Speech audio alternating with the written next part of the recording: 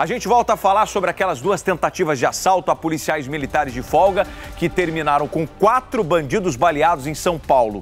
Os acusados seguem internados com escoltas policiais. Os confrontos foram em Itaquera, na Zona Leste, e na rodovia Ayanguera, Zona Oeste da cidade. Reportagem completa no ar pro Brasil. Vamos ver. Olha lá, tá. Sapecou na bala, mano. Tá.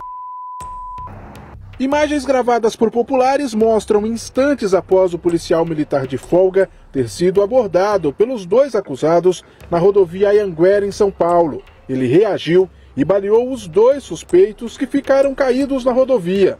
Essa outra imagem mostra o momento que o agente faz um disparo. Olha lá, tá. Sapecou na bala, mano. Tá.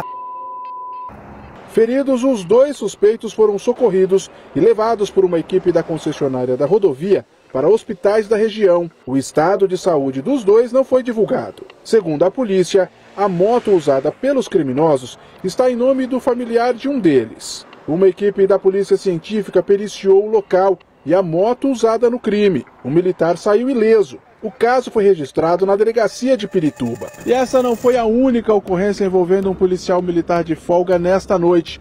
Aqui nesta avenida, na região de Itaquera, na zona leste da capital paulista, um PM também conduziu uma moto quando se tornou vítima de uma tentativa de assalto.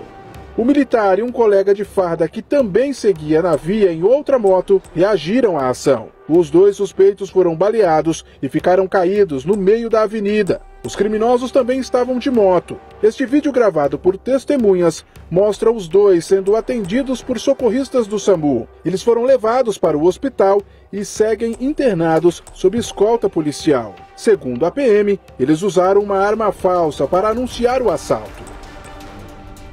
Sobre esse caso, a nossa produção entrou em contato com a Secretaria de Segurança Pública de São Paulo para ter mais informações sobre as ações dos policiais nos dois casos, mas até agora não tivemos retorno. Pelo quarto ano consecutivo, o SBT News é a marca mais confiável de jornalismo no Brasil, de acordo com o Instituto Reuters. 62% dos brasileiros consideram o SBT News e o SBT Brasil a fonte mais segura de informação. Além das reportagens da TV, com o SBT News você tem acesso a conteúdos exclusivos quando e onde quiser. SBT News. Notícias que você pode confiar.